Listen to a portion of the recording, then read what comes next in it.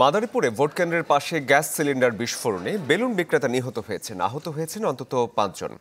রাজৌর উপজেলার হোসেনপুর ইউনিয়নের ঘটনা এটি। স্থানীয়রা জানায়, শঙ্করদী সরকারি বিদ্যালয়ে ইউপি ভোট গ্রহণ চলছিল। পাশেই গ্যাস বেলুন বিক্রি করছিলেন জাহিদুল ইসলাম। হঠাৎ করে তার সিলিন্ডারটি বিস্ফোরিত হয় আর এতে ঘটনাস্থলেই মারা যান জাহিদুল। পা বিচ্ছিন্ন সহ আহত হন কয়েকজন। বিস্ফোরণ এতটাই তীব্র ছিল যে ঘটনাস্থল থেকে চারশো মিটার দূরে একটি বাড়ির ওপর গিয়ে পড়ে সিলিন্ডার। আর এতে আহত হন আরও কয়েকজন। তা এই জায়গায় আজকে ওরা বিক্রি করা শুরু করছে তখন ওই যে ওরাই ওই ঈদের ওইটা আর কি বাস্ট হয়ে গেছে।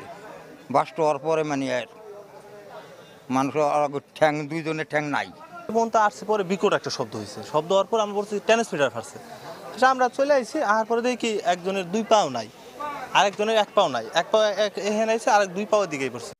সব সময় সব দিকের সব খবর পেতে সাবস্ক্রাইব করুন এবং বেল আইকনটি প্রেস করে আপডেট থাকুন।